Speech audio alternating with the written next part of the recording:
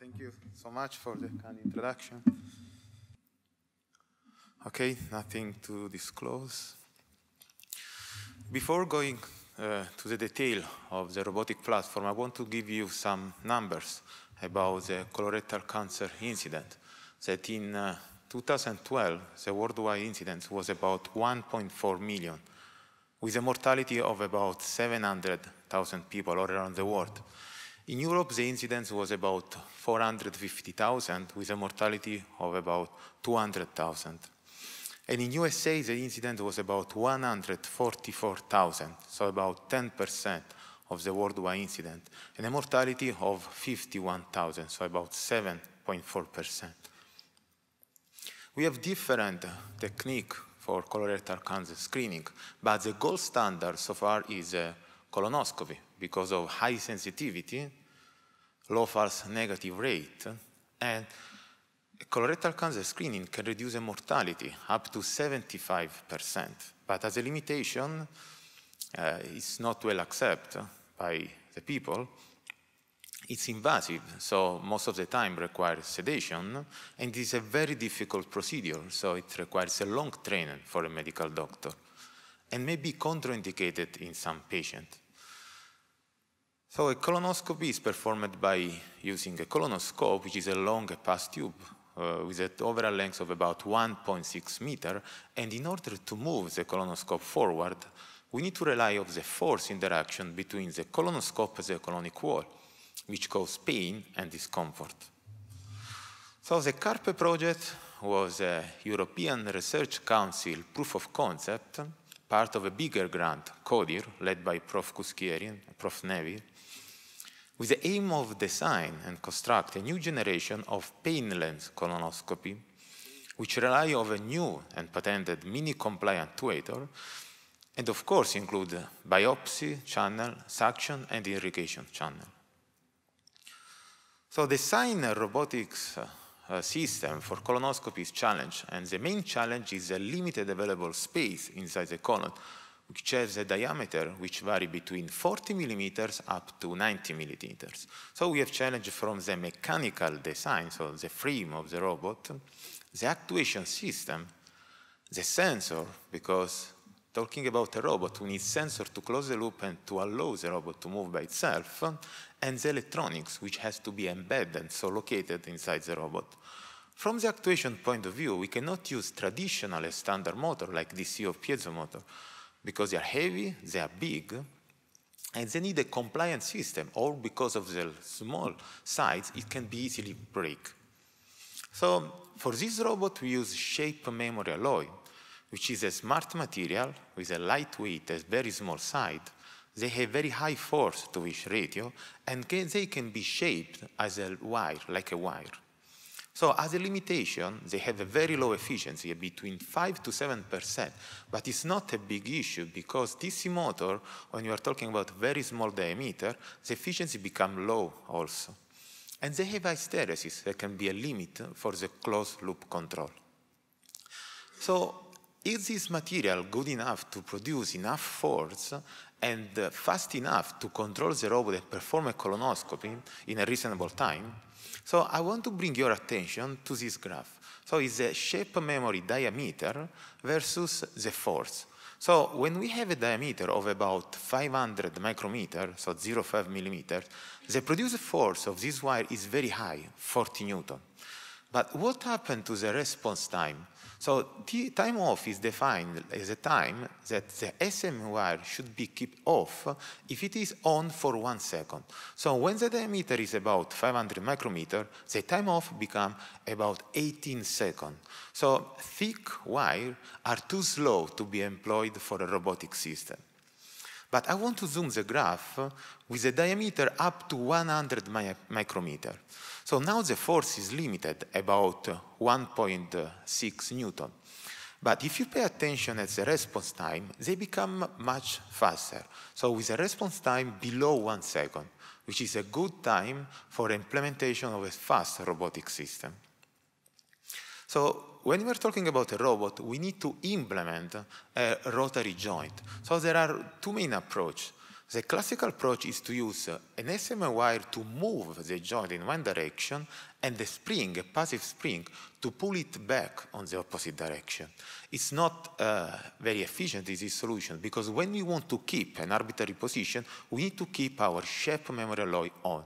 So the idea is to use two shape memory alloy in antagonistic configuration, exactly like our human body. So we can move an SMA wire in one direction and the opposite wire in the other direction. As I mentioned you before, we have a limited contraction of the shape memory alloy, so no more than 5%. To reduce the overall length of the joint, the idea is to use pulleys. So this CAD show a render of the joint that I mentioned before. So basically it is composed of a central ring which allows two degrees of freedom. So this joint can rotate in one direction and in the other direction. We have two shape memory alloy for each degree of freedom, so four in total. And we have small pulley because we want to reduce any friction and we embed a small miniaturized ball bearing inside of each pulley. We have a transmission pulley and we have and we need a smart control sensor with uh, a specific contactless position sensor. As you can see in this joint, all the hardware is located in the outer, on the outer part of the joint. So the internal part is hollow, and we can use this space for biopsy channels. And the overall size of the joint is about 13 millimeters. Just to have a rough idea about the size of a traditional colonoscope, varies between 11 millimeter up to 15 millimeters. So we can compact all these parts in a small miniaturized joint. So we need a fast response from this actuator. So we have to use thin wires. And as I showed you in the previous graph, the produced force is not too high. In order to have a good inertia, we need to reduce the mass of the robot. So the robot has to be as light as possible. To do this, we employed a lot of finite element analysis. We identify the part of the metal frame where the force is higher, so the more stressed part, and with the simulation we remove all the material not needed with the reduction of the weight. So we produce and we manufacture all these parts in our workshop at IMSAT made from one block of aluminium and the weight of each part is 0.15 grams, so very light. So in this picture I show all the component, so made from aluminium, the central ring of titanium, and pulley from copper, with a total weight of only 0.76 grams, and it's quite small. So we have our light mechanical frame, we have our shape memory alloy, and now we need to design and build our smart system. So in this render we have a CPU, so a digital signal processor, in order to implement a closed-loop control on board, so for each joint, we need an inertial memory unit because we need to identify the position and the orientation of our robot inside the column. We have a power chip, and we also have a sensor, contactless sensor. So this is a board on the top of my finger with a design with the overall size of 5 millimeters by 14 millimeters. This is a robe, both fully assembled on the right, five joints, and this is a, one of the preliminary tests. So it's a loop video, it's a real time, so it's original speed, and the light joint of one gram can move really fast, a weight of 10 times its weight, so basically 10 grams. Just a quick video where basically I show some movement and some part of the joint.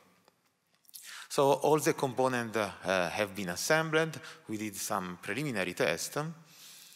But in what we need to perform a colonoscopy is a vision, a vision system. So Storz developed a camera for us for a different grant, CODIR, the overall size of the camera is exactly the same diameter of the robot, so 13 millimeters.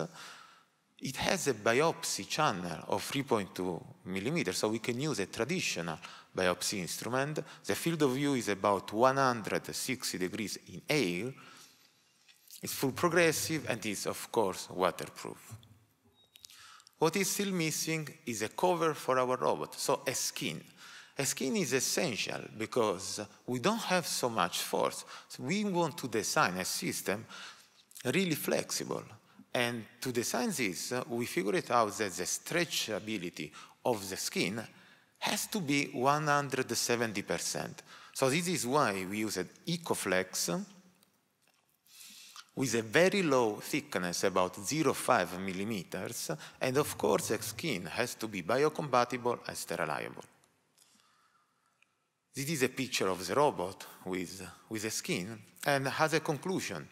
The robot that has been built has joined with two degrees of freedom each, total five joint for 10 degrees of freedom. Just to have an idea about a robotics application, they usually have less than seven or six degrees of freedom. The outer diameter is about 13 millimeters, and the inner diameter for biopsy channel is 5 millimeters. The weight of each joint is 1 grams, and we have all the required on-board electronic system. So the objective of CAPR is to design a new generation of painless colonoscopy that can be controlled by an external console, as you can see in this video, and can easily be inserted and can perform a colonoscopy. And because we are using a robot, we don't need an expert doctor, but we can use a technician or a nurse under the supervision of, the, uh, of an expert. And this system will reduce the cost of the screening of the symptomatic population for detection of col colonic polyps and early colorectal cancer. Thanks.